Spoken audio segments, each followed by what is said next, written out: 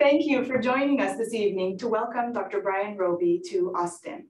I'm Karen Grumberg, the Israel Studies Faculty Coordinator at the Schusterman Center for Jewish Studies and the Director of the Center for Middle Eastern Studies. I want to begin by thanking our co-sponsors for this event, the Department of History, the Center for Middle Eastern Studies, the John L. Warfield Center for African and African American Studies, and the Center for the Study of Race and Democracy. We are grateful for your support. Before I introduce our speaker, I wanted to let you know about our next Israel Studies event, scheduled for one week from today. Dr. Liora Halperin of the University of Washington will give a talk entitled The Oldest Guard, Landowners, Local Memory, and the Making of the Zionist Settler Past. That's on Monday, November 14th from 4 to 5 p.m. on Zoom. You can go to the Schusterman Center website to register. And now for this evening's speaker. Dr. Bryan Roby is an assistant professor of Judaic studies at the Frankel Institute at the University of Michigan, where he is also affiliated with the African Studies Center and the Center for Middle Eastern and North African Studies. After earning his PhD at the University of Manchester in the UK, Dr. Roby completed a postdoctoral fellowship at NYU and was a visiting fellow at the University of Michigan's Frankel Institute for Judaic Studies. His research focuses on Middle Eastern and North African Jewish history in the modern era. Specifically, his interests include the intersection of race, gender, and sexuality in Israel-Palestine, 19th and 20th century North African history, and the legacy of French colonialism on Arab and Jewish identity. His first book is titled The Mizrahi Era of Rebellion, Israel's Forgotten Civil Rights Struggle, 1948 to 1966. Published in 2015 by Syracuse University Press, the book provides an extensive history of social justice protests by Middle Eastern Jews in Israel. His second book project, related, I believe, to his talk today, explores the shifting boundaries of racial constructs in Israel-Palestine, as well as African-American intellectual contributions to Israeli sociology and theories on race and ethnicity. Dr. Roby is also currently working on the intellectual production of North African Jewish literary figures and political activists associated with the Haskalah and the Nahda, respect, respectively the Jewish and Arab Enlightenment movements in the early to mid 20th century. Dr. Roby's talk today is titled Israeli Blackness in Motion, Transnational Perspectives on Jewish Racial Difference. Welcome, Dr. Roby. We're very glad to have you here. Thank you so much for that lovely introduction, and now it's following you. So um, I may have to ask you to step out of the room for a second. Yeah, it's okay. Bear with us, everyone. Okay, she's gone. Oh, just wait one second. Now, there we go. Come on back. so thank you very much. Um, I'll try to keep this fairly informal. Um, given you know the uh, constraints of our uh, pandemic situation that we're all in, and we should recognize that. Um, and of course, thank you so much for having me here um, at UT Austin. It's a pleasure. My first time in Texas, actually. Um, and today I'll be talking about race relations and uh, in Israeli society uh, with regard to Middle Eastern Jews um, called Mizrahim. Um, recently, uh, I've, I've kind of uh, started thinking more about uh, labeling or using the term Afro-Asian Jews, um, particularly because it um, shows this connection that's really important and um, foundational for understanding how Jews um, from Africa and Asia related to anti-colonialism, um, as well as a more transnational struggle uh, involving uh, Africans and Asians. Um, and the reason why I particularly like this term over Mizrahim, at least in English, um, is because I think a lot of times when we talk about Mizrahim or Afro-Asian Jews, we kind of divorce them from the rest of the world. We just think of them in this vacuum within Israeli society as if they didn't exist before and they don't exist outside of uh, Israeli uh, Zionist society in particular. Um, so I'll be talking about them as well as Ashkenazim a little bit. Um, I'm highlighting uh, how Afro-Asian Jews became Black um, prior to the establishment of Israel in 1948, um, and how Blackness has inflected the, the uh, Israeli experience throughout the 20th and 21st centuries.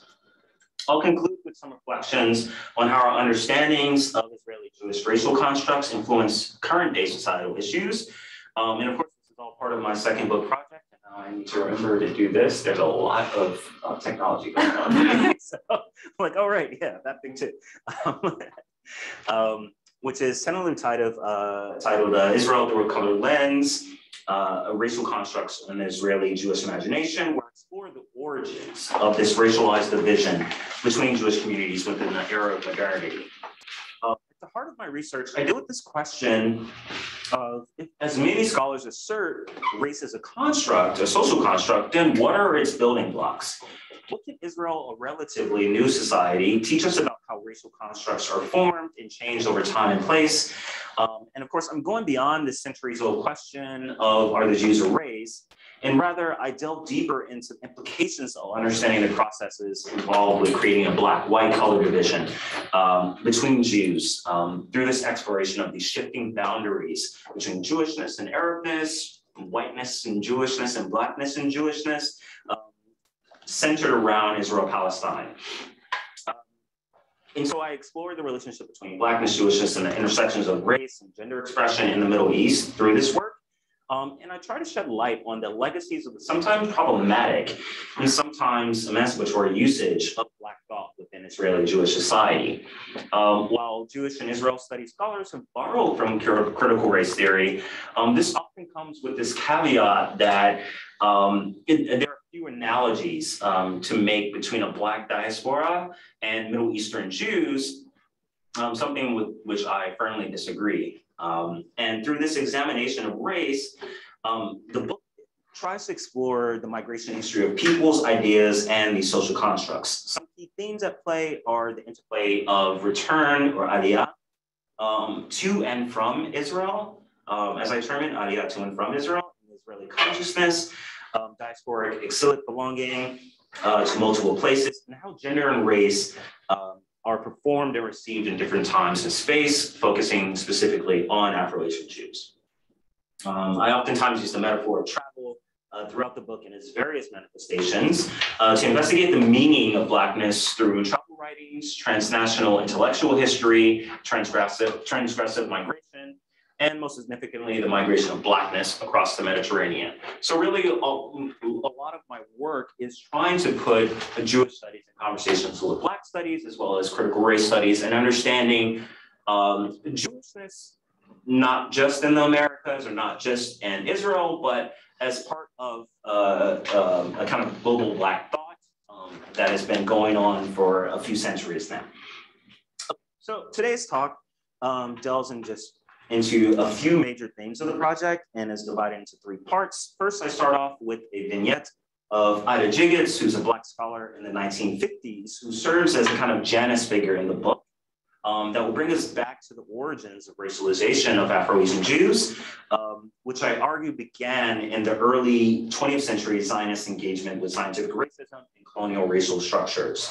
Um, in the second part, I briefly return to Ida Jiggetts in the 1950s to demonstrate how Black Americans produced knowledge of Afro-Asian Jews and were themselves influenced by Afro-Asian Jewish thought about their own positionality um, within uh, Israeli society.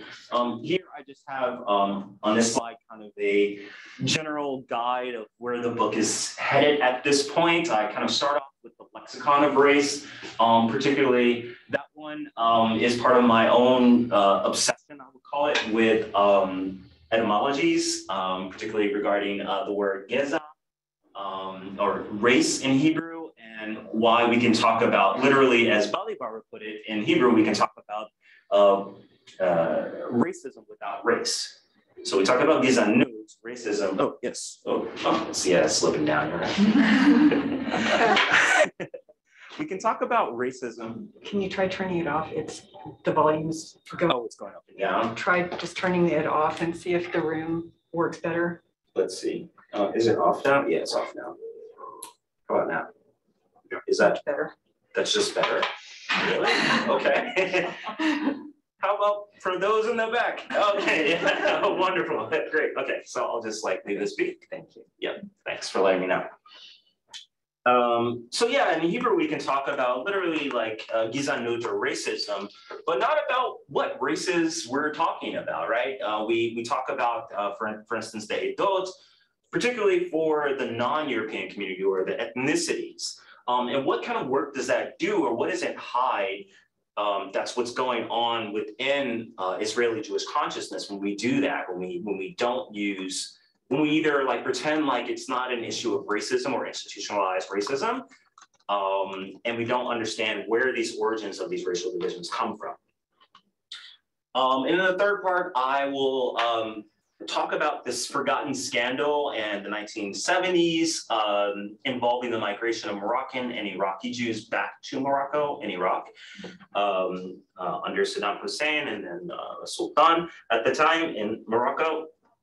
Um, and if time permitting, um, I conclude with contemporary reflections of Afro-Asian uh, Israeli Jewish poetry uh, in the present day. This is now uh, chapter six there, the coda in a sense, um, that deals with these issues of gender, race, and sexuality um, for Afro-Asian Jews, particularly those from uh, Yemen and Ethiopia.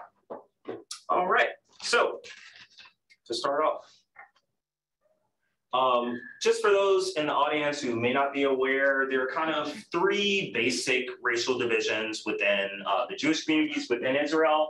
One being Ashkenazim, who are considered white in a sense, uh, European origin Jews. Um, they have traditionally or historically maintained political and socioeconomic power.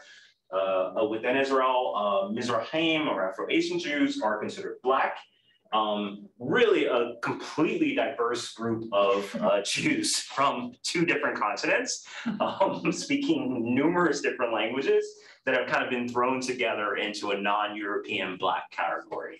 Um, most migrated between 1950 and 1970.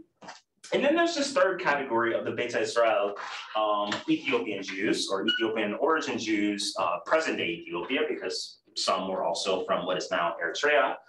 Um, and most migrated, uh, but not all, in the late 70s until actually the present day to a lesser extent, but um, from the late, uh, late 70s to the 90s. There are also, I must point this out, that there were Ethiopian Jews who migrated to Palestine prior to the state of Israel and during the beginning of the state of Israel as well. So that's just a little bit of background. Um, another one is that how do we think of blackness? I think the immediate thing um, for many, if not most people, globally speaking, um, who don't engage with these kind of questions, is that we assume, okay, it's about skin color, right? Um, black means that they have black skin. Nobody in the world has black skin. We all have some kind of color. Black is the absence, or yeah, the, the other way around. yes, but you get what I'm saying. no one is the color of my jacket right now right? Um, and to do so, to think about skin color, I, I really love this quote by Michelle Wright um, in Physics of Blackness, that blackness cannot be located on the body because of the diversity of bodies that claim blackness as an identity. And she goes further to point out that if we try to locate blackness on the body, all we're doing is reproducing the same type of biological determinism that was so prevalent uh, in the late 19th century and early 20th century of scientific racism right? Um, and here we have 30 Shades of Black, which is a really wonderful Afro-Femme march um, that takes place mostly in Paris, but throughout France as well. Um, and then you have basically 30 Shades of Black uh, in, this, in this image of like Black women from various different uh, countries, uh, origins, and things like that. Yeah. Okay. The other thing, um, and this is all just a little introduction, I'm going to try to make this a lot shorter. Um, when we talk about Afro-Asian Jews, these are the major Jewish cities uh, in the early 20th century where uh, Jews lived. So we have from, of course, as far west as Morocco. I did not include the Americas because that gets way too confusing uh, for a variety of different reasons. Uh, and then we have uh, Eastern Africa and Yemen, um, and as far east as Singapore, uh, Hong Kong, Shanghai, um, which are also kind of part of this community of Jews as well. Okay. So before I get to that, I think I can do that. Does that? That doesn't do it. That does it. Okay. So I want to start with Ida Jacobs. Um, while in Israel, one of the first incidents that uh, she recalled in her travel memoir called Israel to Me is her difficulty in understanding uh, how she was racially marked differently, um, and, or at least in different ways than what she was used to in the US. Um, she was often mistaken for being a Yemenite Jew, um, both because of her skin tone and because of her hair texture.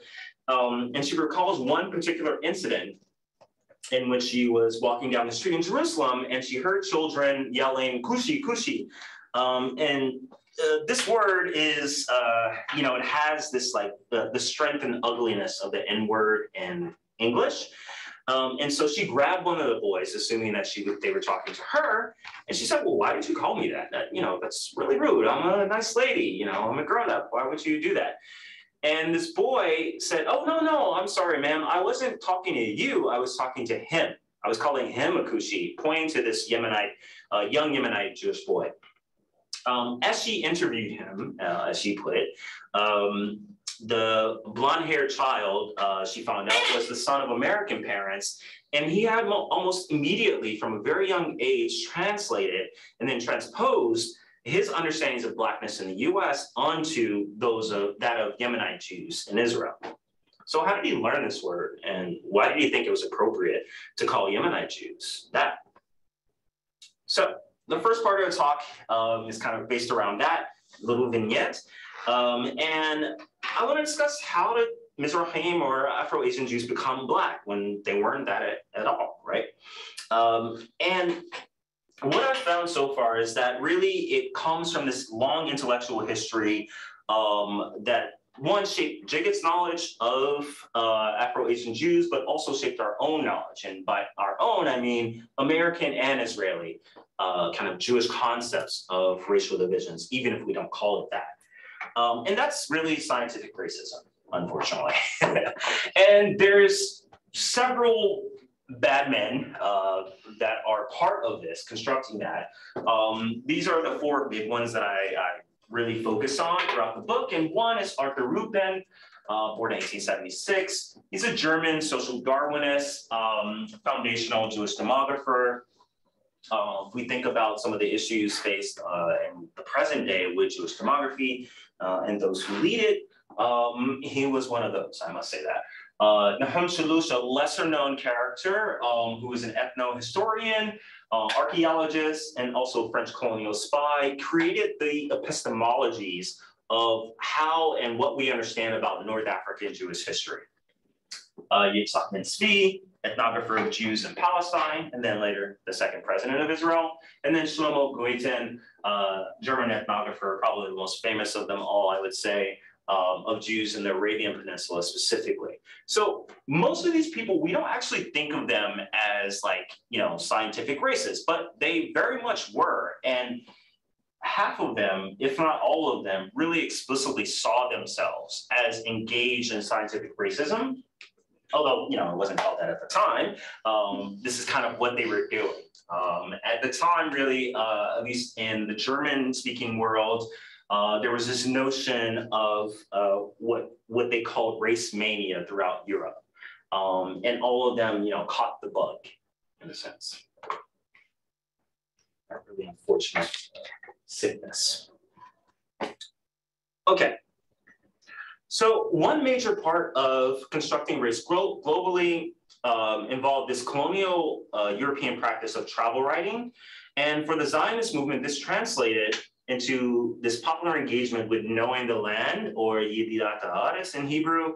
Um, as we now know, a land is rarely without a people. So the act of knowing the land also entails knowing and tracing the boundaries of its peoples their ethnicities and their races. Such practices invented and reshaped ethnic identities and racial identities through a form of, of epistemological violence that produced non-native histories of Jews from the global south. One must remember that prior to the 1917 Balfour Declaration, various other homelands were considered by uh, the Zionist movement um, the Uganda plan being the most infamous or was well well known one, um, but there were of course other plans which included Libya as a potential homeland for Jews, Morocco, Iraq, uh, Galveston, Texas as well. Uh, so yeah, never been there, but uh, I would not imagine that uh, it would be very uh, welcoming to Israeli Jews uh, at the moment. Um, and um, these are actually serious considerations. I, I have to emphasize that um, as alternatives to Jewish settlement in Palestine. Um, and Nahum Slouschz was very much a part of this. He was one of the main leaders of it, um, particularly in carrying out the scientific reports to see which lands were actually feasible to live in. And then not just feasible, but then who are the people that should live there first, right? Um, so um, through his scientific missions, which um, were backed by the Ottoman, French, and British authorities uh, or empires, um, were carried out between 1902 and 1914. And through them, we get a glimpse into how some European Jews understood the racialized otherness of Afro-Asian Jewries. Uh, one of the main failures of the Uganda plan was that there was little explicit connections between Jews and the land of East Africa, at least for Europeans, um, in order to convince enough Eastern Europeans to actually move there. But they did see the ancient histories of Babylonia and Cyrenaica, present-day Iraq and Libya, as really great myth-making areas um, for a new Jewish homeland. Um, Nahum Slouschz, called the Marco Polo of Hebrew literature, um, would carry these out on behalf of, on behalf of uh, Lyautey, the uh, French resident general of Morocco, but also was called the empire builder or empire maker for uh, France, um, as well as um, being uh, under the auspices of the Zionist institutions who partially funded him, but not completely. Um, although he was doing this as science, um, his actual main um, themes in his work was that um, this search for primordial origin of the Jewish people um, and Jewish ties to the lands of the Middle East and Africa in particular. Um, his active time in North Africa in 1904 to 1916 was during this period in which uh, the Zionist movement wasn't quite sure if Palestine was going to work out. Um, and that's still a question mark at this moment, I would say, or at least some would say, I would say. Um, um, but the most important thing was to find a refuge for European Jews. And what Slouschz found most exciting was not the Jewish people of North Africa, um, with whom he oftentimes depicted with disgust, um, but the ability of pre-modern Jewish history to recreate a glorious Jewish past of valor and strength, both in the Roman era and then later in Andalusian Spain. So he really cared very little about the people, the human beings that were living in these areas, but he loved this idea that you could use their past to galvanize the Jewish community and create a new Jewish man through that history. Um, so what that does is actually freeze the Jews who live there into a um, kind of predetermined medieval period rather than actually engaging with them as if they, you know, exist uh, during the time that he was living. So a few of the quotes here. Um, is uh, the first one here is when he's talking about this um, historical past of uh, Jews within Africa. And he says, uh, particularly for the Jewish warrior class, as he calls them, called them, uh, their influence is to be met um, with throughout the entire Atlas, the Atlas Mountains in Morocco, uh, in Ethiopia, and in the Sudan, where the descendants of the Jews of Cyrenaica, meaning Libya, um, founded empires, Judaized the natives, and civilized the country. Neither Greeks nor Romans nor Arabs have succeeded in repeopling it again. It is as, it, it is as if though uh, it were awaiting its valiant Jewish aboriginals. So that's really an important thing to kind of sit with and kind of think through what he's doing here in terms of rhetoric. You know, it's not just that he's dismiss, dismissing modern Jewish history in Africa, but he's also creating this idea of a land without people, right? Um, this land that's just waiting for these um, uh, amazing Eastern European potential Jewish warriors to come in and just take it over.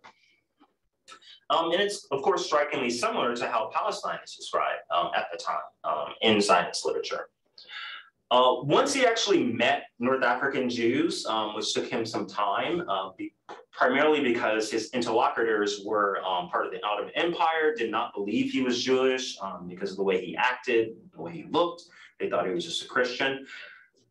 Um, he took note of their strength and virility, and oftentimes in homoerotic terms for the men, and would call them consistently throughout his notebooks and in his books um, they were well built, fine specimens of humanity.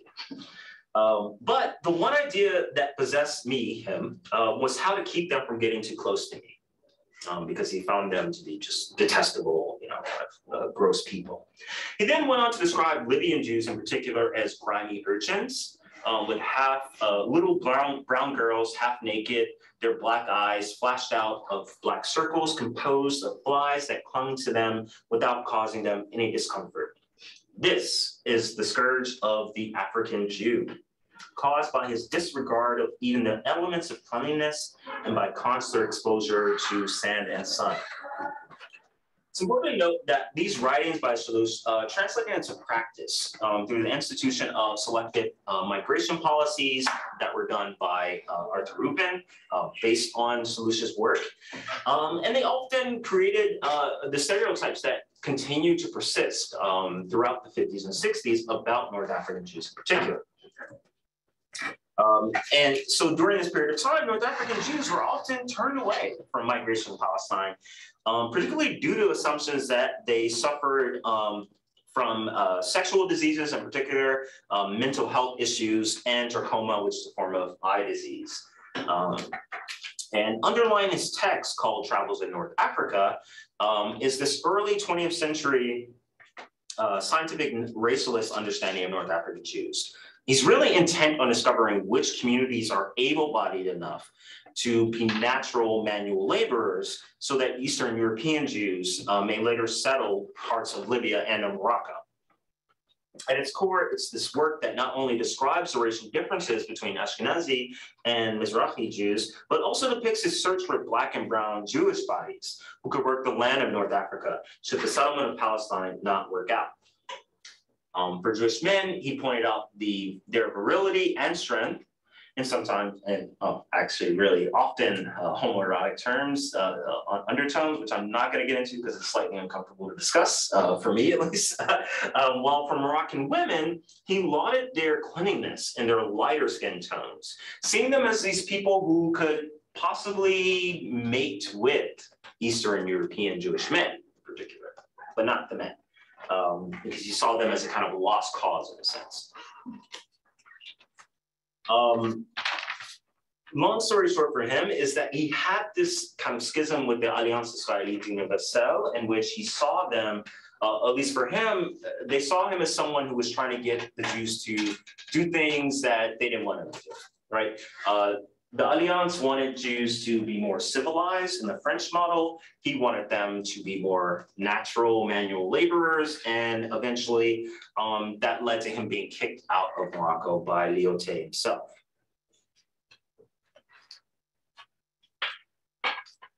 Just uh, being very cognizant of the time here. Uh, so along with others, um, there's one other case that I actually um, will talk about um, just to kind of get this sense of epistemological violence um, where the epistem is violent itself, even if we don't see it that way. Um, and how it travels with ease throughout the Middle East, um, or at least throughout Europe and the, in the West, where it's mediated by experts see, seeking to advance a, a, sort of savior narrative that emerged from, in the context of mass migration. So for instance, for Yemenite Jews from 1948 to 1951, um, about 50,000 Jews from the Arabian Peninsula migrated to the state of Israel with the assistance of the American Jewish Joint Distribution Committee, British and local Muslim authorities, um, the state of Israel, and the Jewish Agency. So lots of institutions involved with this. Um, it is known as Operation Magic Carpet with all its Orientalist notions of it.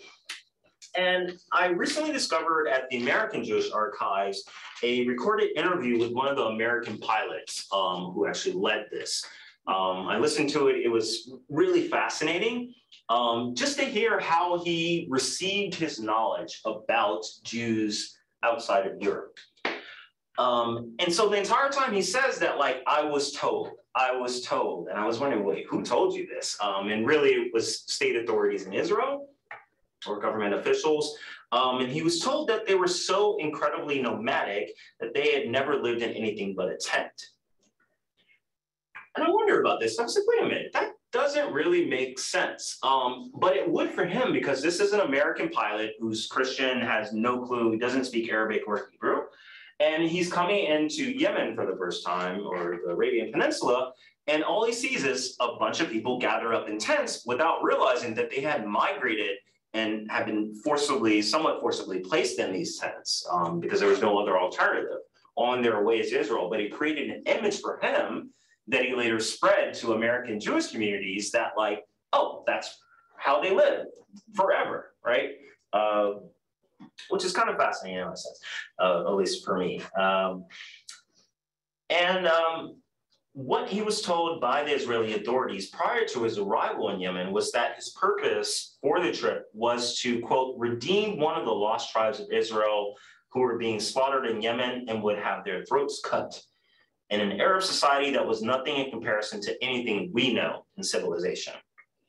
Of course, those who were waiting this transportation to Israel were placed in the British Crown colony of Aden, and these camps were built and supervised by the state of Israel, along with the Jewish Distribution Committee, um, which suffered from mismanagement at a scale that resulted in the deaths of hundreds of Jews from starvation and illness at the time.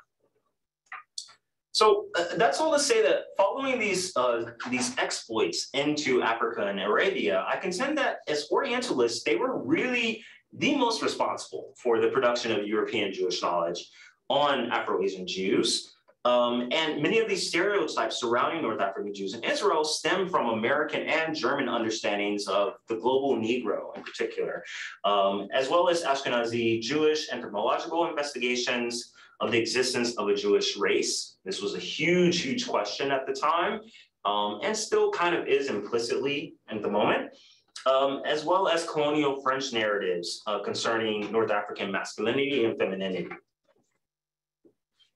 So just to give you a sense of this, uh, all right, I should, right, it follows me.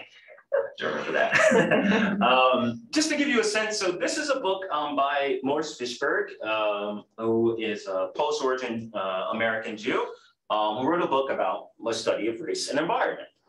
Um, here you can see one of the images that he uses. Um, this is his own caption. It's that she is a fat Jewess in Tunis in native costume. Um, and this was widely distributed. I cannot emphasize that enough. This is like probably one of the first times that American Jews would have seen other Jewish communities beyond Europe, right? And we have this that gives us a sense of how people understood Jewish, uh, Jewish femininity or Jewish gender um, in North Africa in particular. Now you may notice that here and here are the same young girl, right? But for some reason, we have this kind of more uh, aggressive stance for a Jewish woman. These are all postcards here um, that are that were distributed uh, throughout France and throughout Europe, um, done by uh, Landrock or a German studio. Um, and here we have a more aggressive figure as a Jewish woman and a more sexualized figure as an Arab woman, even though it is literally the same person in the same exact dress. Um, something similar here. And then again, um, presumably a little bit more aggressive, a little bit more manly in a sense, where we have Tunisian Jewish women who are sitting around smoking a cigarette, looking kind of like uh, more manly in a sense, at least for French sensibilities. Um, so that's all to say that there is this kind of mixture of both the visual and uh, kind of the literature um, creating this image in people's mindsets that really kind of like progress throughout um, this period of time. I'm gonna skip some of this. Um, and uh, how am I doing it? Just uh, 25 minutes. Okay. Oh, wonderful. Great, great, great. I'm looking at this thing and then this thing, and I'm just like, uh, now I can't remember. Thanks. Um, great. So I'm gonna move on to Ida Jiggetts and return to her. At the time, she's a black young uh, young black social worker, um, NYU uh, PhD candidate student who enrolls at the Hebrew University in 1951 as a part of a trip sponsored um, by uh, Israel Workshop at the time. Um, it is still unclear to me at the moment um, who funded this Israel Workshop, um, but I have some guesses, but they're not substantiated by any evidence. Uh, so I won't say that. Um, and she's writing her dissertation on the integration of Yemenite Jews into Israel in the 1950s. Um, her work in Israel comes within the context of Black internationalism, which from the 1940s to the 1960s saw tons of Black American scholars, activists, and artists from people like John, James Baldwin to Martin Luther King Jr. Um, make plans or actually visit um, Israel Palestine. At this point, Black, Black American visitors um, saw affinities, particularly with Afro Asian Jews and not Palestinians at all. I'm, I can't emphasize that enough. Um, this was like the main concern. They saw Afro Asian Jews as one of their own in some ways. Um, not because of skin tone, although that did play a role, but really just this idea of, uh, you know, being part of a nation, but like completely marginalized by that same nation, right? Being the boundaries of that kind of being the, the drawing line, which Afro-Asian Jews often are, right? Between Arab and Jewishness, Black and whiteness for Jewishness. Um, and so a lot of Black Americans just really wanted to learn from this case.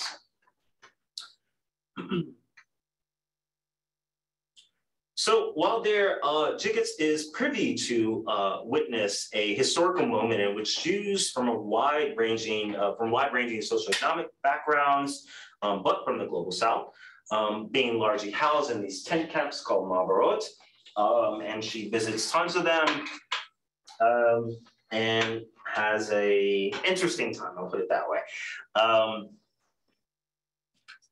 just give me a second. Okay, so Ida Jiggetts' picture here, she is one of six children born in North Carolina in 1901 to a music teacher and a reverend. Um, it's through her PhD advisor, Abraham Katsh, at NYU that she starts becoming interested in the subject of the Yemenite Jews. She mostly learns um, through this kind of Orientalism lens, um, but takes her own kind of perspective in some ways, at least outside of her dissertation which is why she called her own memoir Israel to Me, um, which is quite different from her dissertation, which was kind of Israel filtered through government officials and Abraham Katsh, right? Um, and remembering this is 1950s US, uh, she is a Black woman. This is a very difficult moment uh, for her in, in a lot of different ways.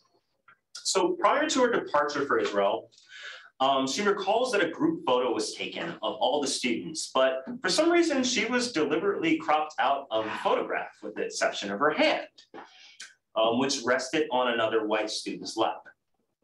So there's a little arrow there. That is her hand. This is the young man who um, thankfully was there to have a little bit of uh, Ida Jiggetts in the photo. Um, but there is a much more expansive photo that I can't find the original to, but you can see was quite intentionally cut out um, from the photo and everyone next to her. But once she, once the group arrives in Israel, an Israeli photographer asks to take her picture, to which she initially refused. She kept asking, well, why do you want to take my picture? I'm like one of 50 other students. What, what do you care about this? Um, but then eventually the program director from NYU convinced her to take the photo. Um, and it was distributed to newspapers throughout the world, um, whereas she was kind of lauded as the first Negro at Hebrew U. And from here, we can see on one hand, Jiggetts is being intentionally excluded from American society, but on the other, she's being used as a spectacle and marketed, right? Um, as a kind of black presence within this uh, within this newly founded Israel. Um, and this set the tone for how she navigated the complexities of global race relations in particular, and being literally put to the margins at home while being placed at the center outside of home. Um, throughout her memoir, she repeatedly, and I can't emphasize that enough, she repeatedly mentions that she was mistaken for being a Yemenite uh, Jewish woman. Um, while it's rarely clear how she vocally responded to this at the moment, um, it's interesting to note that for those interpolating her as such, it's telling that the physical skin color attributes of Jiggetts, as well as her hair texture, um, would confuse her as an African American woman with Yemenites, just to give an idea of how people are just kind of blindly, you know, kind of uh, painting broad strokes of race there. But for her, and she used this um, in a number of her newspaper articles for major Black newspapers um, for throughout the 1950s, um, she saw this as a moment of affinity. Um, and she used it as a moment to kind of create solidarity between Black Americans and Afro-Asian Jews in Israel in particular. Um, so here, this is from the Philadelphia uh, Pittsburgh Courier magazine section, um, one of many uh, articles that she wrote or editorials talking about Israel through the eyes of a Negro uh, woman. And one of the things that she noted throughout these articles was that um, there were a lot of, of course, preconceived notions of, uh, of Afro-Asian Jews. Um, and I'm, I'm kind of laughing because a lot of times, you know, in sociology, um, people have these like findings and it's like, yeah, of course, right? like it's like, wow, okay, 50 pages, and then yeah, I knew that, but like at least they proved it, right? Um, so this is kind of what she's doing here, um, where she interviewed uh, a number of different children um, and uh, she took note that the least liked among uh, those interviewed in her study were Moroccan and Iraqi Jews. Everyone found them to be violent and despicable, and the most liked were Yemenite Jews. Um, particularly because, as she was told repeatedly, um, was that Yemenite Jews had a natural ability to work the land. Unlike the North Africans, um, who were not good, as it was called, human material, for agricultural work. And this really matches up exactly with how Slouschz talked about North African Jews. He wanted to find these natural manual laborers um, to build up a land, but then he just saw them as lazy because, oh man, everyone on the coast of North Africa, all the Jews, they're not farmers. I don't understand. Um, and to me, it's kind of weird. You know, I, I like to make this analogy that it's like going on like Schenectady or like you know uh, Brooklyn and saying, well, I didn't find any Jewish farmers here. Like they must all be lazy, right? Um, but that kind of epistemic violence, right, of like erasure and reshaping, helped to create this notion that you know they should be natural laborers, but since they're not, they're just lazy and violent and a bunch of other things too, right?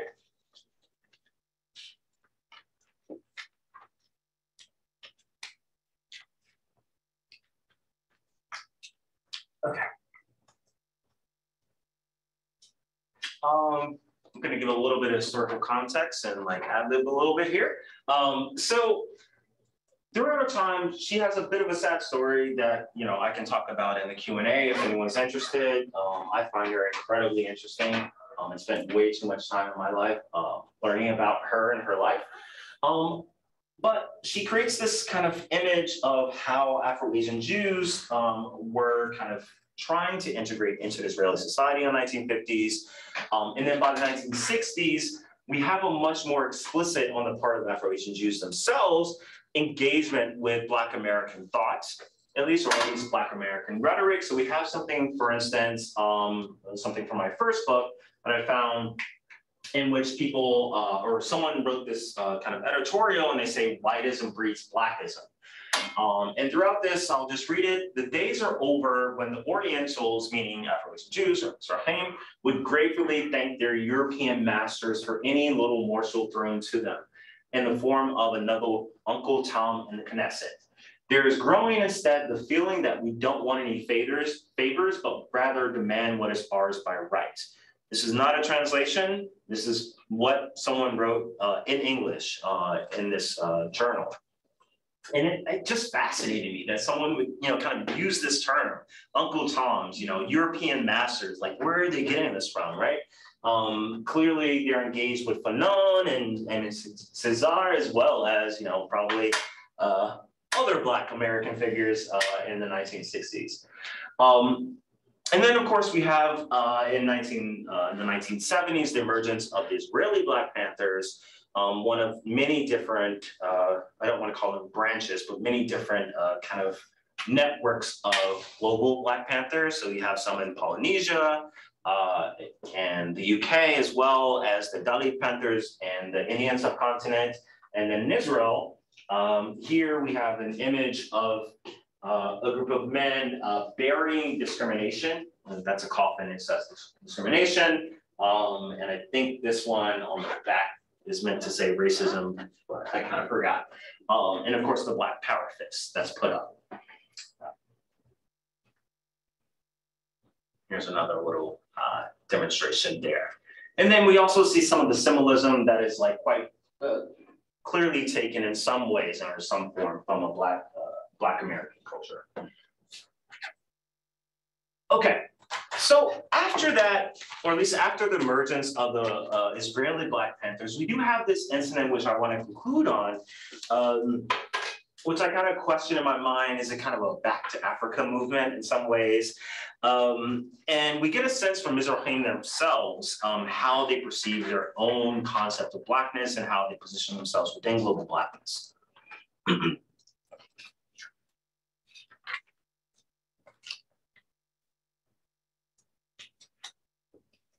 So, sorry. I'm just trying not to sneeze. That's what's going on right now. and I'm struggling, but it's, I'm good, I'm good, okay. Um, um, so there is within the Black Panthers uh, in Israel, uh, notably in 1974, 1975, uh, people like Shalom Cohen and Dan Israel, uh, the latter of who was disappeared, um, both of which took tours of Europe and kind of make this argument, particularly for French Jews who were primarily from North Africa at the time, um, to actually consider, you know, creating some kind of solidarity movement between brethren, right? Moroccans getting together transnationally, Moroccan Jews at least, um, and thinking about issues of blackness and race uh, within the Jewish community and outside of the Jewish community. Um, some even went as far as to call for uh, uh, this kind of assistance for Afro-Asian Jews to migrate from Israel in particular. And interestingly enough, members of the Arab League took heed of these calls um, for my immigration, immigration, and led a campaign from 1975 to 1978 to invite Jews, Israeli Jews in particular, um, um, from places like Morocco, Sudan, Egypt, Yemen, and Iraq to return for, to their rightful homeland in the Arab world. And this is one example. Uh, this is an advertisement that the Revolutionary Command Council of Iraq placed in the New York Times. They also had a few in the Toronto Star and a couple in uh, uh, French newspapers as well. Um, while it's kind of a seemingly absurd notion that Jews, for instance, will return to Baghdad under Saddam Hussein, who would return to Baghdad under Saddam Hussein? would be a great question. People actually did it. Um, this actually happened. Um, and the war, one of the more infamous uh, instances of that was uh, that of Yosef Nawi and Dawid or Dawood Morduk, um, both Iraqi Israelis, um, from peripheral towns in Israel um, who returned to Iraq under the Ba'ath regime. In 1976, uh, Nawi, I don't know why that happened. Is this a sign? Yeah, open, open the computer again. Uh, Sleep. stop. Oh, okay. All right. Yep, there you go. There we go. Perfect. Great. No? Oh. Oh. No, there it is, there it is, yeah. Just had to give it a second. Okay, okay, so uh, we uh, flew to Iraq uh, along with um, his immediate family. Um, and while there, he immediately gave a press conference in, I will just leave the picture, yes, yeah. Hopefully that will do it. Yeah. Uh, he immediately gave a press conference uh, in Baghdad, uh, which the New York Times reported on and Washington Post as well, um, where he denounced the treatment of Afro-Asian Jews in particular, using the term Mizrahim or uh, the Eastern Jews, as it would be called in Arabic, um, particularly in regard to institutionalized racism. Uh, that he pointed out existed in Israel. And so this is kind of a big deal, right? You know, this is not something that is even to this day really discussed as institutionalized racism within Israel for the Jewish community at least. Um, a few years later, uh, Dawood uh, appeared on the Iraqi uh, Baghdad uh, radio explaining that he returned also to Iraq after spending several years living in um, the Zionist hell that is Israel, as he called it. Um, and he expressed his appreciation for being able to return to his Jewish homeland of Iraq. Um, just a really cool nerdy comment uh, is that I found uh, Morgul's uh, transcript of the Iraqi Jewish archives, which the uh, American uh, occupation forces, uh, you know, kind of took and moved to DC.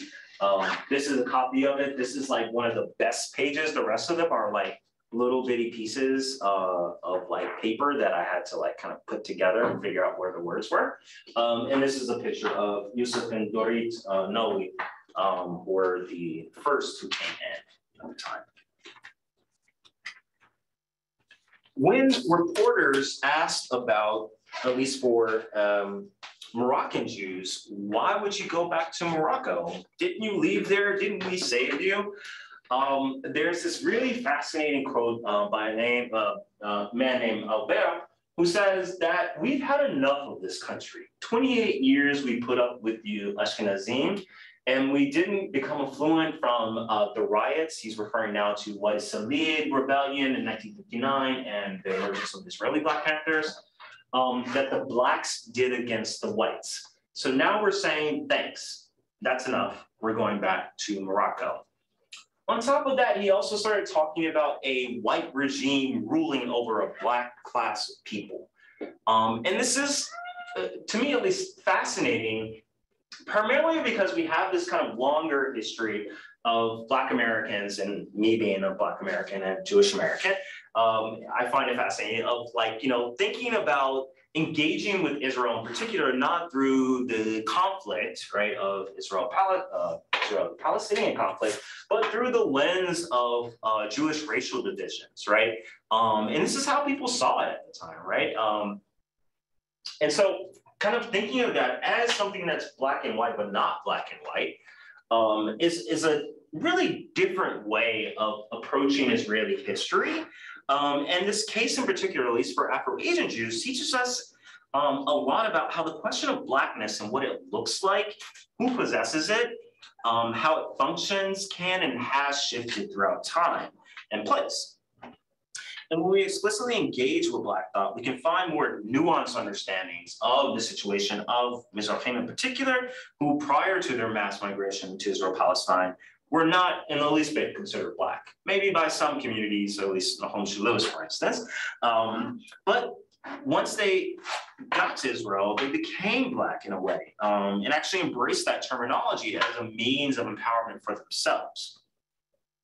Um, and then later, of course, with the migration of Beta Israel Jews, um, which I won't discuss because of time, um, that, that notion of blackness shifted in some ways, at least from this cartoon here on the on the left shifted from Afro-Asian Jews to Ethiopian Jews in particular. So here we have uh, two men who are marked, and this is my kind of concluding things uh, as a kind of conversation starter. There are two men who are marked in different ways as Mizrahi. Um, and the one on the right says, once we were the uh, oppressed blacks here, and then the other one with the cigarette in his mouth says, yeah, and so the Ethiopians came to screw us over. Um, and in the background, we have presumably uh, Ethiopian Jewish Israelis who are saying down with this, enough with discrimination um, and protesting against racism. And so that major question still in my mind, and also I think in a lot of Israeli minds are, well, who are the blacks now, right? Um, and if Ethiopian Jews are the black community of Jews in Israel now, where does that place uh, Mizrahi Jews in particular? Um, are they fighting with each other? Is there conflict between that? Or are they on the same page, which unfortunately is not the case, but maybe it will be in the future. Um, so I'll leave it there um, and kind of open it up for questions. Thank you all.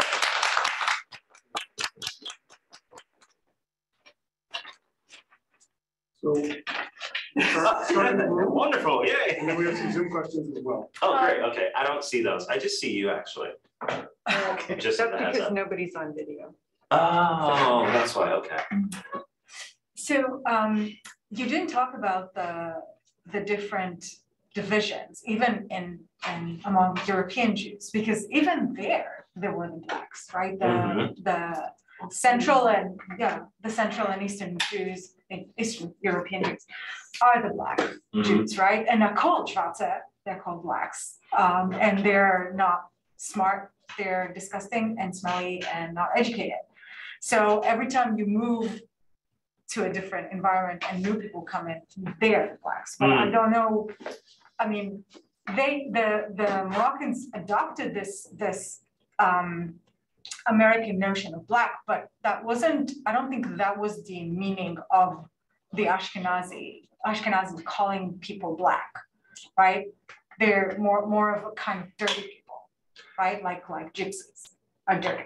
Yeah, I mean, I would say more like gypsies in some ways, but um, what I will say is that why I would say that.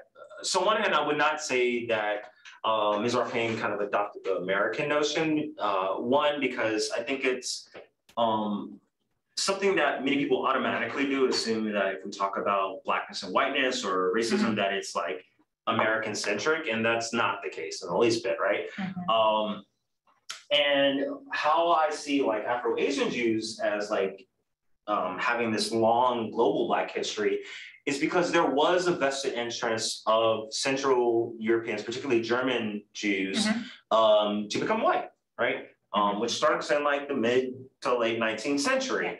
Um, and in doing so, um, there is this kind of, uh, you know, creating scholarship to Blacken Eastern, Eastern European Jews or Eastern Jews in general, right? So, so what do you mean by black then? So a lot of times when, um, uh, when, so Arthur Ruppin, for instance, when he, when he talks about both in his dissertation, but then also later in his writings, um, when he tries to figure out, okay, what is the origins of the Jewish race? Where is the Jewish race placed? He creates this disgusting but interesting chart um, where he has like, you know, the Alpine races, really the white, the yellow, and the Negroid races. Um, and uh, Jews are distinctly within the white category, Mhm. except for Yemenite Jews who are like kind of at the bottom and they're more closer to the Negroid races. Mm. And he goes on in this really long diatribe about why um, both uh, Eastern European Jews, uh, or at least Polish Jews in particular, Yemenite Jews and North African Jews are um, have too much uh, Negerblut, as he put it, or Mhm. Negro blood. Um, and he says it's because, well, you know, during the medieval period, uh, Eastern European Jews they mixed up with the slaves, Mhm. whatever that means, and uh, that's how they like have. That's why they have these physical features of blackness. Mhm. Um, using a lot of these um, uh, race cards, as I call them, uh, to show like a, a Galician Jew or Eastern European Jew looking like a Negro. Um, and juxtaposing those two images. And so there was this really, and it- what that did, it wasn't just like, you know, just being racist for racist sake. What it did was show that no, no, no, no, no, we're not like them. We being German Jews, right? Um, Yeah. and to a lesser extent, French Jews. Um, we're not like them. We're the white ones. Um, they just had too much mixing with the rest, Mhm. right? And that changed uh, significantly after uh, the Second World War for uh, obvious reasons. Um, but it was still okay for people to do that same thing for North African or African and Asian Jews in particular. Um, there's this really fascinating um, um, uh, short pamphlet um, written by an Indian Jewish woman um, who talks about this and is having this conversation with the, it's based off of the American Jewish Yearbook of 1911, I believe, um, where she talks about how people are conceptualizing um, uh, non-Central European Jews as Black and why that's so problematic. And she's pointing these things out that like really is just kind of meant to, that's a conversation for them. And she's kind of saying, keep my name out your mouth uh, in many ways, right? Um, and so I think it's, you know, it, it, it's something that um, for the most part, um, prior to the 1950s, Jews in Africa and Asia weren't really part of that conversation, but they were still very much kind of like being driven in people's mindset that, oh yeah, these are the black ones, we're the white ones, right? And to have that kind of like black foil Mhm. um, to juxtapose their own whiteness, um, or at least to bolster their own whiteness, was very useful. Mhm. Um, as an example, to give to non-Jews, to give to particularly non-Jewish whites, I would say. And it, it was their way of integrating. Yeah, um, either in Germany or in the US, right?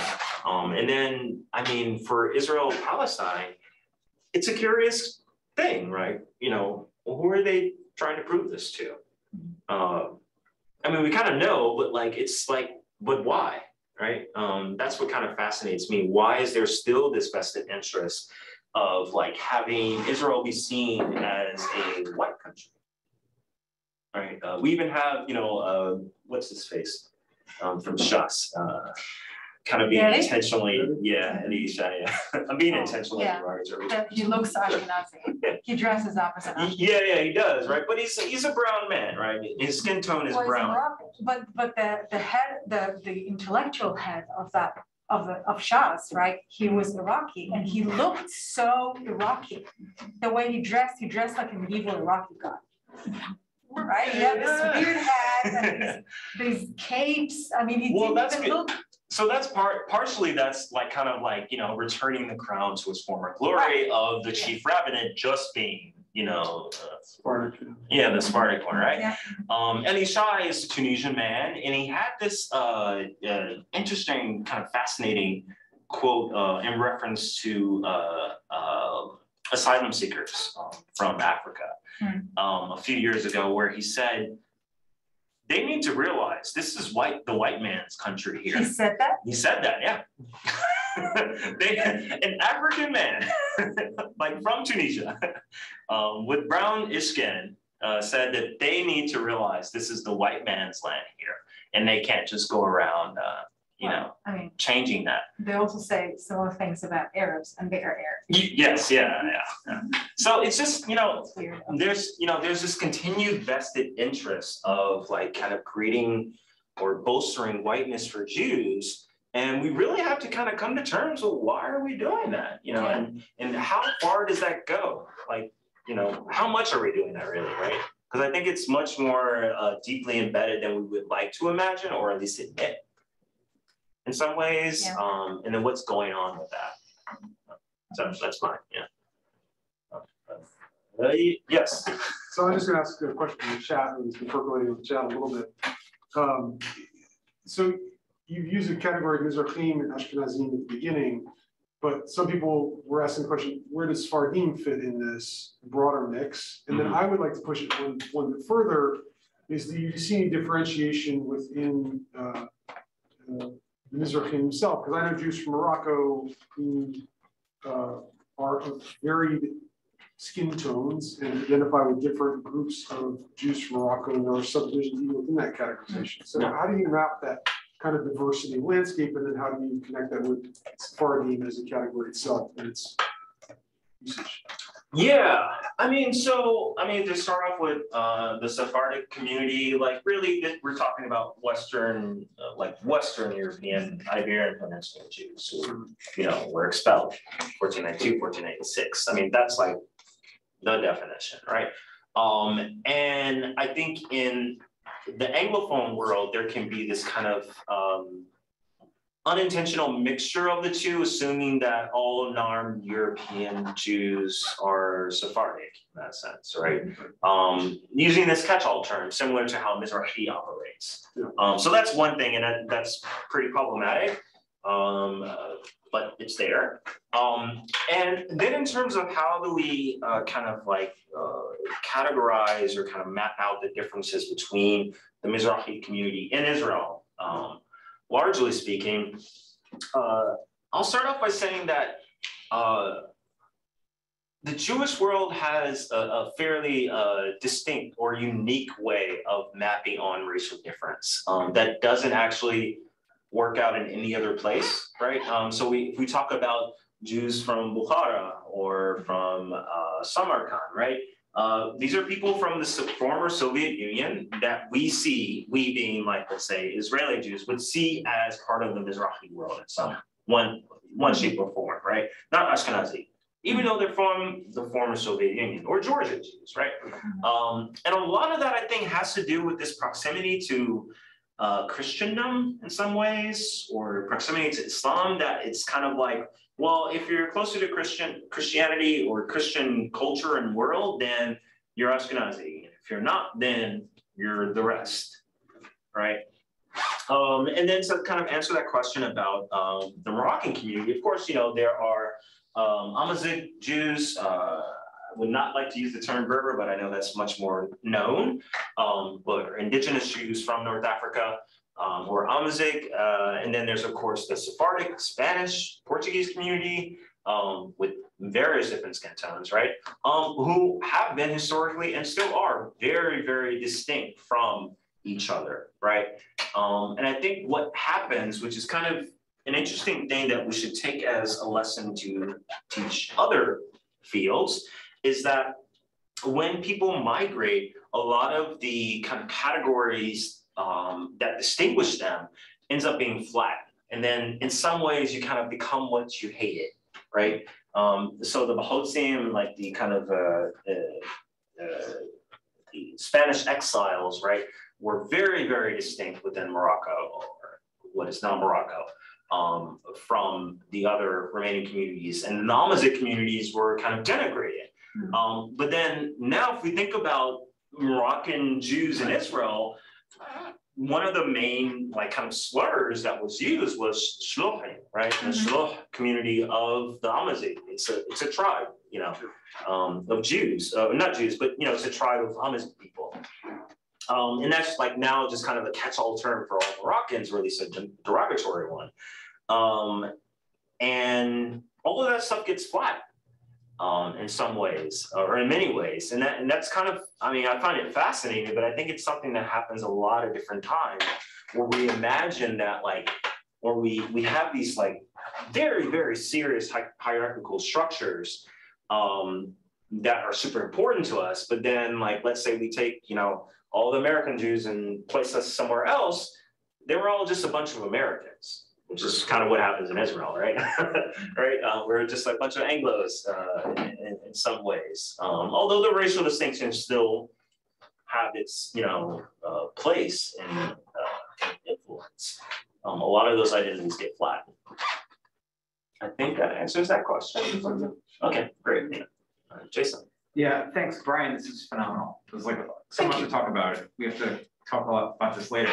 Yes. Um, I, I want to go back to something that you mentioned earlier because it was something that I was thinking about throughout your entire presentation, which is the status of Palestinians mm. this framework, which is to say that you started out your presentation by talking about the terminology of racism, right? When it, it seems pretty clear that, you know, like you're talking about issues within the Israeli sort of Jewish sphere, there's also all sorts of non-Jews within Israel as well you know, like you mentioned also like the refugees from Sudan, you know, also like what about like um, like migrant workers coming from Thailand, other places in, in Southeast Asia, you know, so I, I guess part of the question is like, to what extent is the framework that you're developing here for talking about Israeli Jews also help us to understand Israeli society as well as the occupied territories kind of on a much broader level. And then the other half of it, you know, sort of you referenced earlier, you talked about this idea of you know Israeli Jews kind of seeing it as like you call it the white man's country, right? You know, I didn't know no Eli. No, I don't. You, you you're quoting him, right? You're quoting him. yeah, yeah. Um, to be clear, right? But the question is like, you're talking also about a number of like historical cases and sort of how this is over the course of time. But this is a, a very present issue mm-hmm. as we're trying to understand sort of the place of Israel within the discourse about global whiteness. Right. And, yeah. and, and the sort of struggle against depression on a global scale. Yeah. So like, how is it the understanding the kind of shifting motion, you said like the, the, the blackness in motion, mm. helps us to understand kind of the shifting place of Israel on a global scene as well? Ah, yeah. Well, those are really great questions. Oh man, okay. I'm gonna like struggle to answer them, but I will try to answer. so I'll start off with saying that, okay, um, I mean, I know one major uh, issue that I face is that I don't talk about Palestinians mm-hmm. uh, very much in, in the book. Um, there's there's kind of a, there is a reason for that, um, and that's primarily because um, although I can't articulate it very well at this moment, um, what I will say is that I see blackness as something that ends up being constructed within a nation state boundary. Um, and for Palestinians, that's a different society, right? Um, either diasporic uh, Palestinian communities or those in occupied territories or those within uh, the state of Israel, right? Um, and within Palestinian society, there's a serious issue of anti-Afro-Arab this, right? Uh, anti-blackness within the Arab world and at large, right? In North Africa, in the Levant, um, of those who were either descendants of previous uh, those who were enslaved or those with, you know, were Afro-Arabs, right? Um, in similar ways to other Black communities. And so it would make it, I would find it incredibly difficult um, and downright problematic to just kind of make a blanket statement of saying that, okay, well, um, Israel presents itself as white, and so it's white. Um, Israeli, uh, Israel as a Jewish uh, democratic state um, sees itself as white, and so it is white.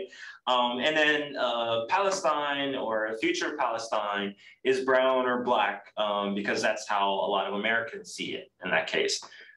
That's just not true, Right, right? yeah. Um, and it's just, yeah, and I don't know what to do with that um, in some ways. I mean, that's just like my honest take is I don't know what to do with that other than, um, which is what I do do, is kind of like point out to those who, um, including Palestinian activists, that like, hey, I'm trying to clean up my house. Can you also work on cleaning up yours in terms of the treatment of Afro-Palestinians, right? Because there's some serious issues there, um, especially in the Bedouin community, I will say in the South.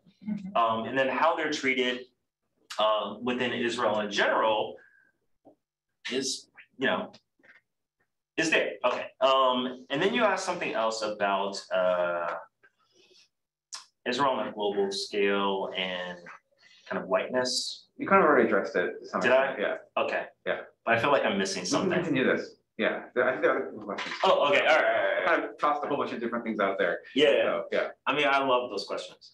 Thank you. I don't know if I sufficiently answered them, but uh, I, I, it makes me sweat, and that's a good thing. We've got another one from the chat. Uh, I'd like to know whether any of the early work or current work has taken into account the experience of serving the Army.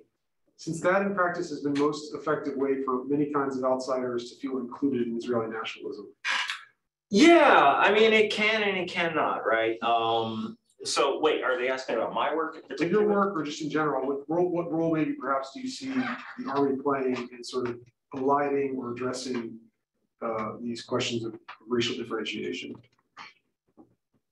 Yeah, so I would say that the uh, the state and the army sees itself uh, uh, sees the army as a great integration mechanism or mechanism for integration.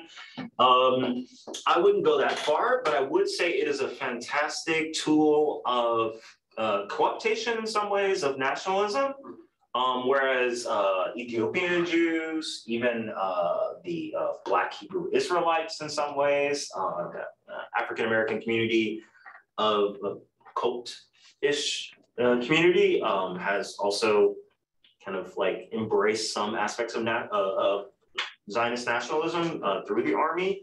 Um, and so in, in that sense, you know, I wouldn't call it integration, but I would say it does help people to learn how to, at least in their rhetoric, uh, embrace uh, nationalism. That being said, um, for the periods that I've mostly focused on, which is um, 49 to 79, um, for the longest period of time, those who were um, kind of uh, refusers, those who refused to serve in the army, were primarily Afro-Asian Jews. Um, and people kind of forget that. Until the 70s, that was the case. Um, they were derided for uh, and, and not called in the same ways that we call uh, people who refuse in the army now. Um, and by the 70s, or at least late 70s, that kind of shifted towards the more Ashkenazi uh, middle and upper class communities of um, individuals uh, kind of embracing this refusal to serve in the army. Um, and, th- and that was seen as more of a kind of intellectual uh, you know, conscientious objection, um, as opposed to uh, a bunch of delinquents who just didn't want to or were too lazy to, right? And so, really, I think you know, um, future work um, in looking at uh, the army as an integration mechanism should really, uh, really, really delve into this earlier period of time in the 50s and 60s, in which like the majority of people who were like either having kind of passive resistance um, while being in the army or active resistance of like saying, no, I'm gonna go somewhere else or I'm gonna run away. Um, we're mostly Afro-Asian Jews and actually kind of thinking through that. What does that mean for um, this concept of the army being an integration mechanism? Or what does that mean for even Zionism itself, right? Um, Zionism, Israeli Zionism. So what does that mean for that? Yes. Cool, I, uh, thanks, yeah, I wanted to ask you about another identity category that you didn't get, that you, that is kind of, I feel in the air a little bit, and that is Arabness. So if, um, so fascinating to think about, um, Mizrahim in the context of Black Panthers, and I wonder just how much in, the stark dichotomy in that, like Israeli, let's say Hebrew speaking mindset the Yehudim and all being Mhm. Jews and Arabs, if, the Mizrahi identity um, is black, how much does is their Arabness or lack of Arabness um, at play there? Um, and I guess I'm asking, do they, in order to be black, do you have to not be Arab? In that context? Oh, oh, I see it. Uh, no, I would say absolutely. Yeah, I don't think those Those two two are, they, yeah, they can very much be part of each other. Um, what I will say is that why I don't talk about Arabness for Mizrahim is that like, if we think about everyone who's thrown into the category of Mizrahi, uh, Israeli, most are not Arab, right? Mhm. Even when we talk about like the countries of North Africa and Morocco, Tunisia, Algeria, um, you know, a good chunk of uh, of the Jewish communities there are not Arab. They're Amazigh, they're Sephardic. Uh, although probably the majority, or at least the kind of hegemon uh, of the Jewish community, would be Arab. There's still, you know, that sense, and then including Asia, uh, India, Pakistan. Singapore, these, the Baghdadi Jewish community, um, which is a large diaspora community of, of multitudes of cultures and communities, um, that are not all Arab. And I think, you know, to, um, this is kind of like uh, maybe a little bit provocative, but I would say like to say Mizrahi equals Arab Jew is to do the same work of, uh, of what Zionism does and kind of like, and also Arab nationalism does in dividing Jewishness and Arabness, right? It's really just kind of like flattening these identities, creating an epistemic uh, violence of erasure of like the nuances and the complexities of these various different Jewish cultures and saying, oh yeah, no, they're all Arab or they're all Jewish, right? In the same way, and kind of forgetting that no, these are peoples and communities with long, detailed histories, beautiful cultures um, that are not just or not, you know, not just Arab, um, not just African, but all of these things together, right? Um, and you know, uh, for Jewish studies, which is I'm, I'm very invested in, you know, I think we have a lot of work to do in writing those histories of you know uh, Jewish communities everywhere, um, at least outside of Europe, because we can make a we can make a distinction pretty easily between, let's say, Ostjuden, you know, Jews and things like that. But when we talk about Moroccan Jews, it's like, whoa, wait, wait, which uh, which community are you talking about here? You know, um, the Spanish speaking, the Haketia speaking, the Amazigh, uh, you know, Tanarian speaking. So yeah, that's yeah. You see where my rant is going? Yeah. Thank you for confirming. yes. Um, so I do want to continue with Jason. Um, Jason's question in terms of, so I understand why you're not going into Palestinian issues, Mhm. but I'm wondering how, you know, there was some, especially in the late seventies, there were some, you know, Mizrahi activists who did draw connections between their struggle and the Palestinian struggle, that, you know, especially parts of the Black Panthers who also joined, um, you know, the Hadash and the Communist Party, which was basically Arab Palestinian. Yeah. So how does, how and if does that fit in your framework of, of thinking through blackness? Yeah, that's a really great question. Um, so I'm, oh wait, hang on. It's not following me anymore. I'm just gonna- I'm trying to be, you know, very cognizant. Yeah, it just, it's not following. me. So I'll just. Um, I would say, um, you know, I'm, I'm kind of struggling at the moment uh, with this chapter on the Black Panthers, primarily because of the general relationship to Palestinian uh, citizens and non-citizens at the time. you know, there's this like, you know, infamous incident of like a um, Palestinian student who uh, in Tel Aviv who asked, you know, to join the Black Panthers. There was this big discussion, like, can we let this person in? I don't know, you know, yeah, they're kind of fighting the same struggle. And the conclusion was, no, uh, no, no, no. If you wanna, you know, if you wanna join us, do your own thing, right? Um, which is kind of a similar take to what was going on, uh, at least in the Oakland chapter of the Black Panthers here, of like with whites, um, which is very different from the Chicago chapter, like uh, understanding.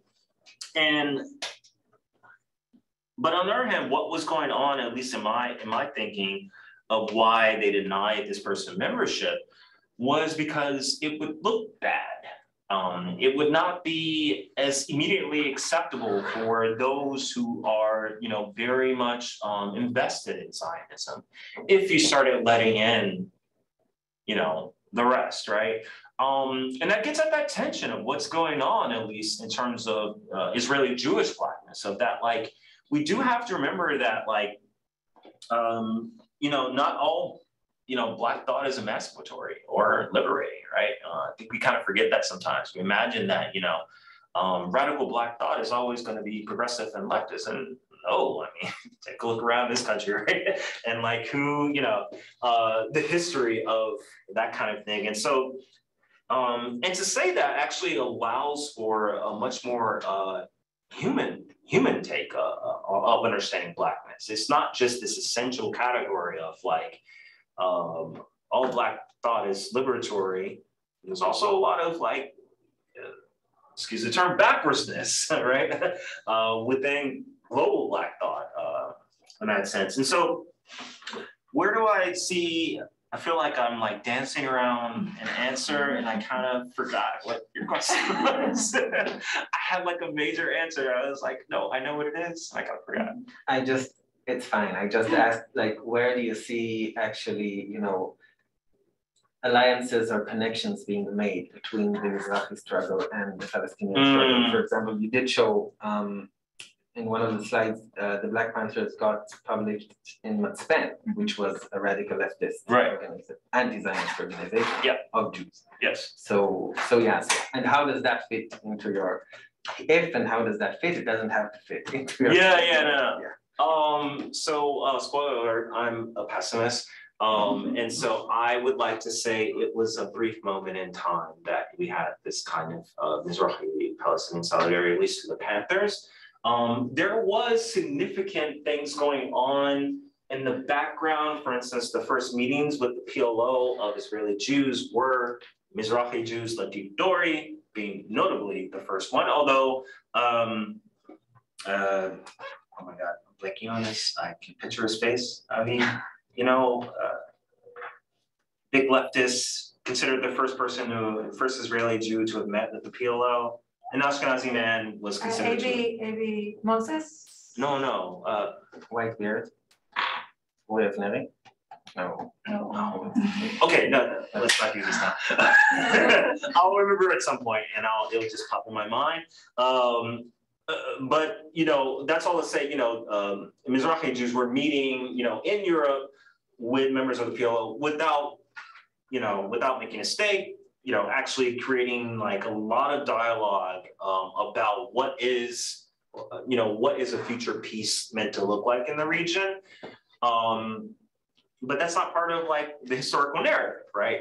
Um, and it doesn't interest me that much, that kind of political realm of that. So I don't talk about it so much, but I think it's something, you know, important to kind of think through about, well, why is it that when we think about uh, who was when was the first time that Israelis met with Palestinian officials? We, we think of uh, you know the Camp David, et cetera, et cetera, uh, those kind of things, rather than uh, these kind of like uh, marginalized communities of people meeting with each other, right? Um, yeah. Yeah. So I wanted, I actually kind of two questions. Um, and thank you for giving us so much to think about and talk about a lot of really wonderful things um, that came out of your talk. But I wanted to revisit the question, I think it's related to what Natalia just asked and also to the question that Benny asked about, um, about Arabs and Arab identity. Mhm. Um, and I mean, I, I, I completely understand your point about, well, they're not all Arabs, so why should we call them, we're doing that same kind of violence by lumping them all into. But I think that if we think about Arabness as a category that is in some ways comparable to the way that you're talking about blackness, Mhm. that is that it's not sort of literally inscribed on the body, but something that can be taken up um, as the basis for activism, as the basis for um, pushing back against certain norms um, and, and against discrimination, as the basis to forge alliances with Palestinians, for instance. We see a lot of Mizrahi activists Mhm. who have done exactly that. And they're less concerned with the specifics of, well, I'm Moroccan, so am I Sephardic or am I actually Arab? And actually embracing this idea of, of Arabness as, as activism, right? And I wonder if you could say something about that, but I just also want to quickly ask a, a quick second question. Yeah. Uh, But I don't know if, um, if we'll have time for all of it, but the second question was, since we're talking about the discourse of race and talking about how some of the discourse of race from the US was applied in Israel, looking at the contemporary situation, I wonder if there, if you've identified anything akin to the anti-racism that we talk about so much in the US in recent years.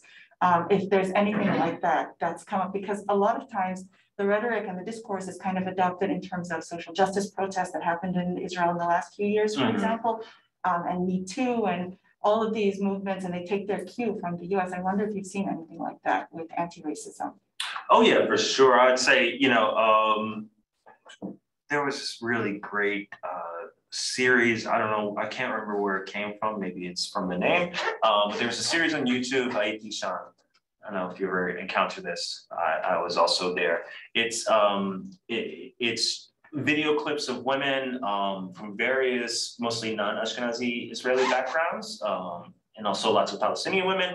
We're talking about um, being survivors um, in various different scenarios, and they like tell their stories. It's so fascinating because it also, you know, it's you know talking about gender violence, but it's very clear from like you know how they're talking, who's talking, and who you see, the scenarios that they're mentioning. That this is also like a kind of anti-racist rhetoric that's going on, and it's like based around the Me Too, you know, movement in that sense. Um, in addition to that, um, there is um, a lot of uh, poetry and, and music in particular, um, where you do have that um, kind of um, uh, organically built uh, anti-racism activism within uh, the kind of non-European origin Jewish communities uh, in Israel, I would say. Does that kind of answer that second question? Yes. Okay, great. Okay, cool, cool, cool. Um, now the first one was About the category of Arabness. yeah, the category of Arabness. So here's my concern again, uh, and like, you know, just make sure that we're all on the same page and I'm answering your question. Um, is that I'm thinking, so yeah, I get that, particularly in the contemporary of the past 20 years, right? 20, 30 years, where like Arabness for Israeli Jews uh, of Mizrahi origin can be this category that's not tied into, you know, uh, the body or to Arabness per se. But then historically speaking, um, you know, um, as someone who's like very much invested in the history of North Africa, I'm always thinking, well, you know, the Amazigh movement, um, you know, that is still going on today, sees Arabness as a colonial power, right? As a colonial hegemon, which in their light makes a lot of sense, right? Um, and so that same erasure can happen for Jewish communities that are part of those things, right? And so to say like, okay, well, yeah, the category, the category of Arabness, um, at least in this context, um, uh, can be broadened um, as a way of uh, liberation. That makes sense, yes. Um, but I think what's really important to do is to really think about the time and space in which we're kind of like thinking through these issues, right? In which um, that works probably the past 20, 30 years in the region of the Levant. Um, wouldn't work, let's say, 1980s, 1970s for Jews in Lebanon, right? Um, or Christians in Lebanon of Arabness, right? That is like very much antagonistic to what was going on for them. Um, and that's the same kind of thing for blackness, right? Where like, you know, in certain contexts or in, it, it really is time and space dependent, where like, you know, if I threw the category of blackness onto uh, Ottoman Sephardic Jews in Palestine, that makes absolutely no sense, right? Um, for that time and space, but that definitely makes sense for the time and space of, you know, 1940s Israel or 1940s Palestine and then 1940s Israel and Palestine later on. Um, so yeah, I think that's really something that we kind of really need to think through. Um, is that when we talk about these issues, we really have to like actually say, okay, this is the time and place and space that I'm like considering that this category makes sense to use in. Um, and getting away from this idea of authenticity, I think is also very useful because then a lot of kind of uh, kind of uh, counterpoints that some would make for activists, uh, Mizrahi activists in Israel nowadays is that like, oh, they're not really being authentic. They're just, you know, kind of, you know, reminiscing about something that never happened and things like that. But no, they're creating something that's useful for their framing in that time and space. And I think that's worthwhile to like, you know, and legitimate to do. Well, we're very much at time and uh, Uh, yes. grateful for Professor Roby for his, his wonderful presentation and his entertaining so many uh, questions in such uh, and vigor. Really. Well, thank you. And those of you on Zoom, thank you for being here and uh, we hope that you have a wonderful evening.